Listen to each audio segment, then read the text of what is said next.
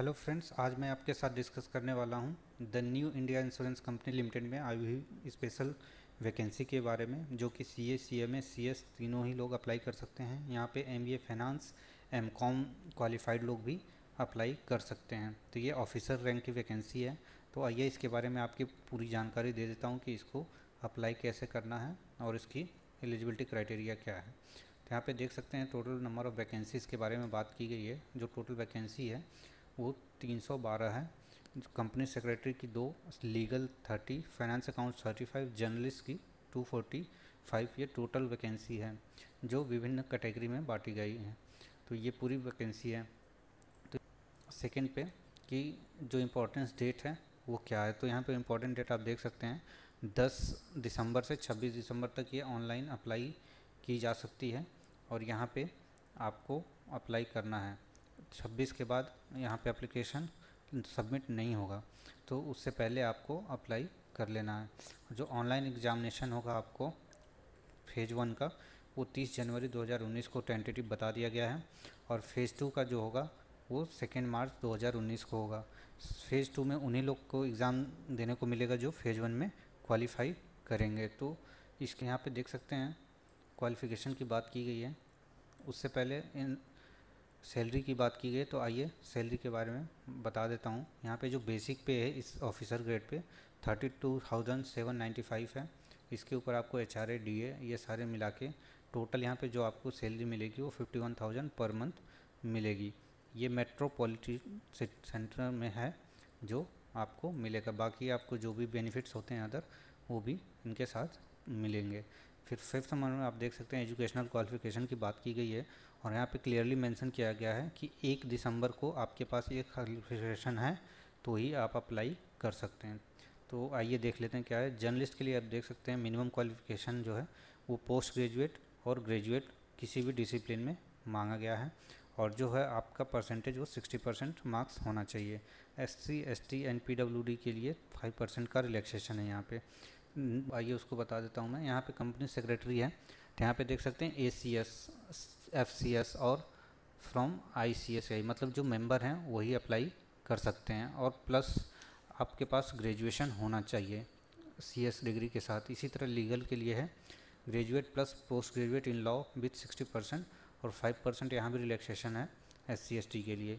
इसी तरह finance account post के लिए चार्टर्ड अकाउंटेंट एंड ग्रेजुएशन है। यहाँ पे सी के साथ आपके पास ग्रेजुएशन की डिग्री होनी चाहिए और आपका ग्रेजुएशन में सिक्सटी परसेंट होना चाहिए। सेम सीएमए के लिए भी C M A plus graduation with sixty percent marks and M B A finance with sixty percent marks M com with sixty percent marks तो फाइनेंस के लिए C A C M A M B A finance M com ये sixty percent के साथ होने चाहिए और five percent का रिलैक्सेशन है S C S T and P W D के लिए।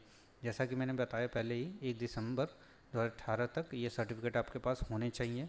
अगर आप अभी फाइनल ईयर में हैं तो आप अप्लाई नहीं कर सकते। फिर नेक्स्ट आइए बात करते हैं यहाँ पे। ई e पॉइंट में जो बताया गया है, उससे पहले ऊपर देख सकते हैं 59.99 आपका 60 परसेंट नहीं माना जाएगा। सो आपका एग्जैक्ट साठ है, उससे ऊपर हो तो ही आप अप्लाई कीजिए। एज यहाँ बताया गया जो 21 ईयर मिनिमम और 30 ईयर मैक्सिमम एक्सेप्ट रिलैक्सेशन जो आपको यहाँ पे बताया गया है एस सी के लिए फाइव ओ के लिए three and P W D और अदर्स जो हैं, उनके लिए बताया गया है। यहाँ पे कि सिलेक्शन प्रोसेस कैसे होगा? तो सिलेक्शन प्रोसेस तीन फ़ेज़ में आपका होगा। फ़ेज़ वन है प्रिलिमिनरी एग्जामिनेशन जो हंड्रेड मार्क्स का होगा, जिसमें तीन सेक्शन डिवाइड हैं। तो आइए मैं बताता हूँ कौन से हैं सेक्शन तो यहाँ पे देख सकते हैं एडवर्टीजमेंट में ही बताया गया है कि जो आपका फ़र्स्ट पेपर होगा, वो इंग्लिश लैंग्वेज रीजनिंग एबिलिटी और क्वांटिटेटिव एप्टीट्यूड जो ऑब्जेक्टिव टाइप के क्वेश्चंस पूछे जाएँगे। और यहाँ पे आपको टोटल एक घंटे का टाइम मिलेगा और 100 मार्क्स के ये क्वेश्चंस मिलेंगे। यहाँ पे जो फ़र्स्ट फ़ेज़ में क्वालिफाई करेंगे, उनको ही सेकेंड यानी प्री के बाद मेंस में आपको एग्ज़ाम देने का मौका मिलेगा। तो वो मौका किन को मिलेगा? जितनी भी वैकेंसी है, जैसे कि 312 टोटल वैकेंसी है मल्टीप्लाइड बाई 15 टाइम्स इतने लोग को शॉर्टलिस्ट किया जाएगा फ़र्स्ट राउंड में। फिर मेंस के लिए उनको एग्ज़ाम के लिए बुलाया जाएगा। फिर सेकेंड फ़ेज़ में जो मेन एग्ज़ाम होगा, यहाँ पे आपके 200 मार्क्स के पेपर होंगे, जो कि प्लस 30 परसेंट डिस्क्रिप्टिव मार्क्स होंगे। इसमें आपके इंग्लिश की लैंग्वेज टेस्ट चेक किया जाएगा। तो यहाँ पे दो भागों में बांट दिया गया है। पहला है फॉर जर्नलिस्ट, फॉर स्पेशलिस्ट। तो फॉर जर्नलिस्ट के लिए फोर देख सकते हैं। चार सीरियल नंबर में बताया गया है। Reasoning, English, general awareness quantitative aptitude, जो 50 50 मार्क्स के 200 के होंगे और 120 मिनट का आपके यहाँ पे टाइम मिलेगा मतलब दो घंटे। अब यहाँ स्पेशलिस्ट के लिए पॉइंट नंबर फोर तक सेम है। यहाँ पे दस दस नंबर घटा के चालीस चालीस का मार्क्स कर दिया गया है और एक फिफ्थ पॉइंट ला दिया गया स्पेशलिस्ट स्ट्रीम मतलब आप फाइनेंस के हैं लॉ के हैं और कंपनी सेक्रेटरी हैं तो उससे रिलेटेड कोर्स से रिलेटेड आपके 40 मार्क्स के क्वेश्चन आएँगे। यहाँ भी टोटल में आप देख सकते हैं दो ही क्वेश्चन दो सौ क्वेश्चन होंगे 200 मार्क्स के और 120 मिनट मिलेंगे। और यहाँ पे डिस्क्रिप्टिव टेस्ट जो होगा आपका 30 मिनट्स का होगा 30 मार्क्स के लिए, जिसमें आपका लेटर राइटिंग टेन मार्क्स का होगा और ऐसे राइटिंग 20 मार्क्स का होगा, जहाँ पे आपको इंग्लिश की knowledge check writing skills check की जाएगी। आइए आपको बता देता हूँ कि निगेटिव मार्किंग भी है। जो निगेटिव मार्किंग है वन फोर्थ आपका है।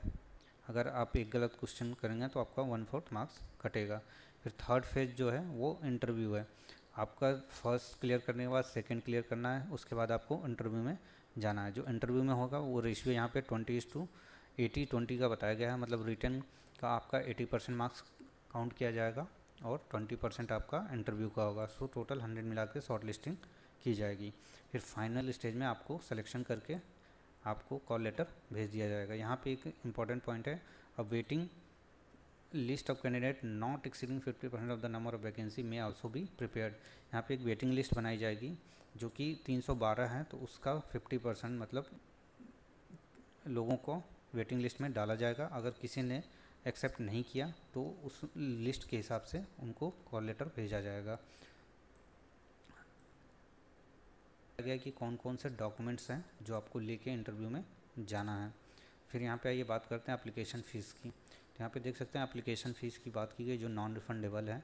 आपका S C S T P W D के लिए hundred rupees only intimation charges हैं और अदर देन इसके जो भी हैं, उनका six hundred application fees including आपका इंटीमेशन चार्जेस फिर यहाँ पे बात की गई है एग्जामिनेशन सेंटर की।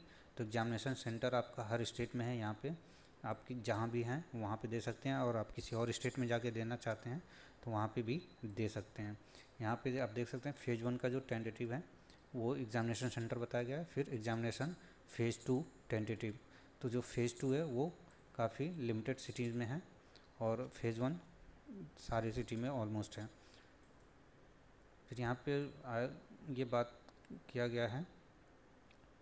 फिर यहाँ पे बताया गया कि आपको अप्लाई कैसे करना है। तो अप्लाई करने के तीन प्रोसेस हैं। अप्लीकेशन में रजिस्ट्रेशन करना होगा आपको पहले। उसके बाद फ़ीस पेमेंट करनी है, फिर डॉक्यूमेंट स्कैन एंड अपलोड करके सबमिट कर देना है सारी इन्फॉर्मेशन फिल करके।